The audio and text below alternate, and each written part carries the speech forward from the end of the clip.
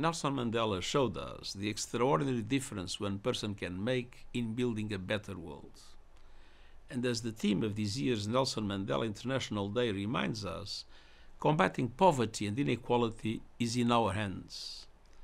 Our world is unequal and divided. Anger and poverty are rife. The richest 1% are responsible for the same quantity of planet wrecking greenhouse gases as two thirds of humanity. These are not natural facts, they are the result of humanity's choices, and we can decide to do things differently. We can choose to eradicate poverty. We can choose to end inequality. We can choose to transform the international economic and financial system in the name of equity.